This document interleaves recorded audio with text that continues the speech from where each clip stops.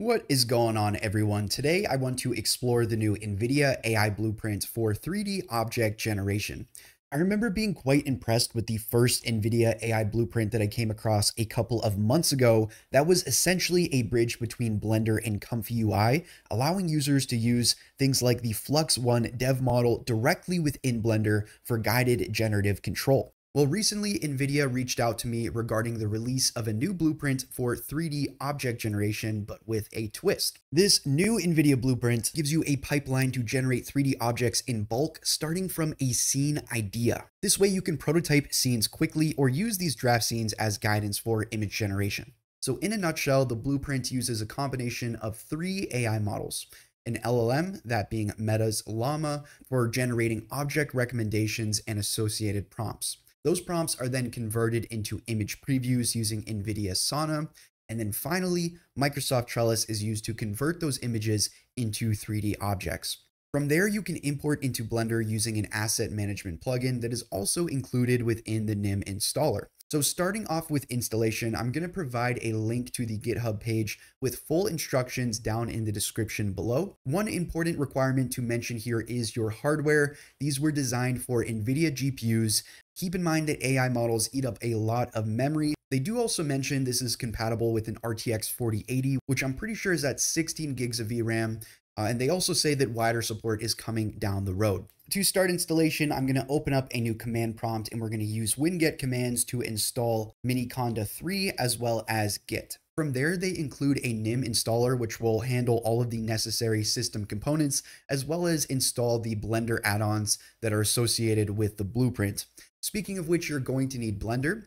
They tested with Blender 4.2 LTS, so I'm going to be using the same version in my showcase today. The final installation step is to clone the blueprints from their GitHub page and then run the installer script to set that up. Once that is finished, you can now start the service either the manual way within a terminal window, or alternatively, you can open up Blender, go to edit, preferences, and then add-ons. And now you'll see this new 3D object generation as well as asset importer plugin available here after running the NIM installer.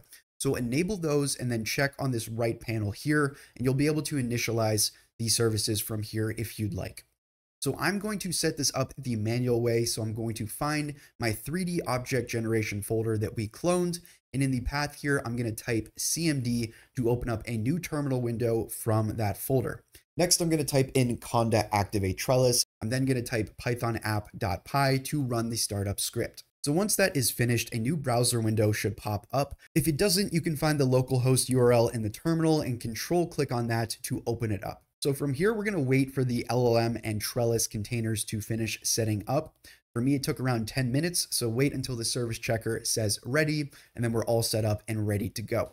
Now, the thing that I like about this is that it's not focused on just generating one singular model at a time.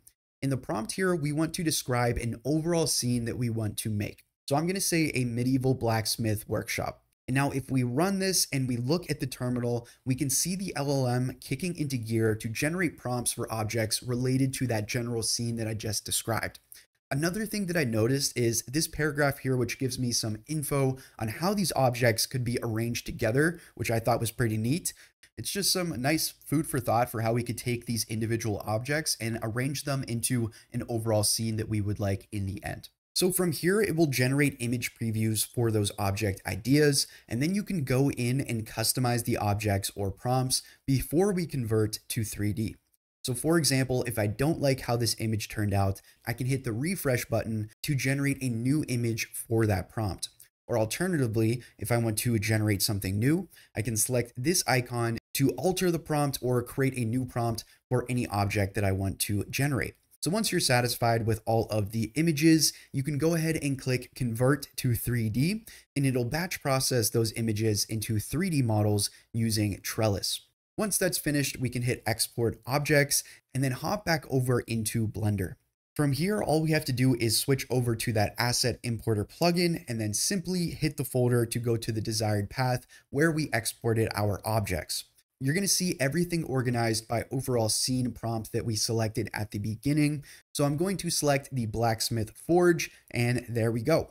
To make this easier, I'm just going to put all of these objects here into their own collection and then I'm going to hide that collection for now. Next, I'm going to switch over to my asset browser in Blender. Then I'll select current file. And now we have everything named and organized here, ready to drag and drop into our scene. Whereas before you may have spent hours sourcing or modeling placeholder objects just to block out your scenes, now you can use this tool as a pipeline for concepting your 3D scenes within minutes. So for my particular scene here, I'm going to follow that suggested layout prompt that was generated in the beginning, just to help guide me through setting up all of my assets here.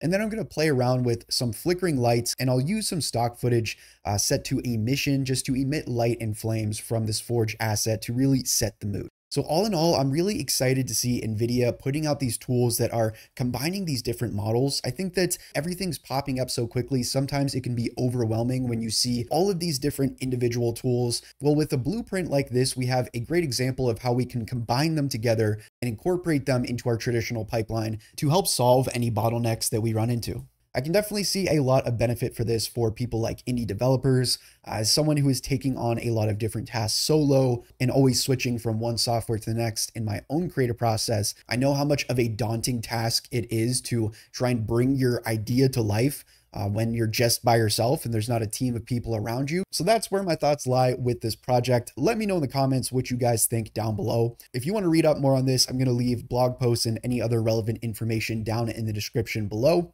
As always, guys, thank you so much for watching. Thank you so much for supporting, and I'll see you in the next one.